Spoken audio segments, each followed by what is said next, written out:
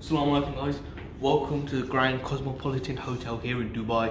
This is the grand room and I'm going to give you a tour of what this room uh, contains of. Uh, so yeah, as soon as you enter on the left hand side, you've got a mini toilet here, you've got a sink uh, and you've got a toilet behind the door here. Uh, and then once you get out of the toilet, you've got this uh, nice living area here, nice living room, you've got a TV, you've got sofas, got a little work table on the side as well for that. Nice bit of chandeliers as well. Obviously we've got a little painting on the side here as well. And then once you come further down, you've got your area with the water, the kettles, the teas, all this good stuff.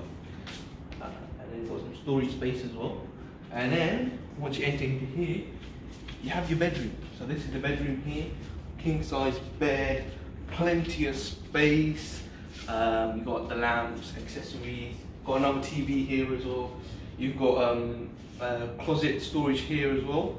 And then you have another toilet. So this toilet is actually really nice. So you've got a toilet, you've got a shower, you've got a bath, you've got you even got like two sinks as well. So there's a lot of stuff happening here. And then obviously um, you've got the bed here. And then if you come down here, we've, we even got on all the rooms, we've got the Qibla direction as well. So when you need to pray, um, you know which way the Qibla is.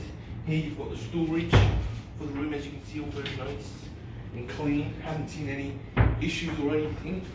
So yeah, guys, this is the old um, Grand Cosmopolitan Hotel um, grand room. This is what you can expect. Uh, this is on the third floor as well. We did actually change rooms um, from room 310 because on room 310 the windows were making a lot of sounds, especially uh, between hours of like 8 a.m. and 10 a.m., which woke us up from sleep. Like this, the noises were so strange that it was like someone was like hitting the window, but there was no one there.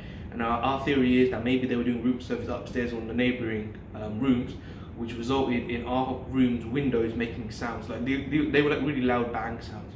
So yeah guys, um, shout out to Grand Cosmopolitan Hotel for, you know, upgrading us to this room after we came to them with our concerns. And yeah, so this is the tour of what your room can expect. And obviously at the hotel, um, they give you breakfast, they've got dinner as well. Each night uh, there's a different um, dinner menu, so for different countries, which is really cool. Also they've got a gym, uh, swimming pool, sauna, steam room, games room, that's all on the rooftop as well. 24-7 gym as well, so that's really cool.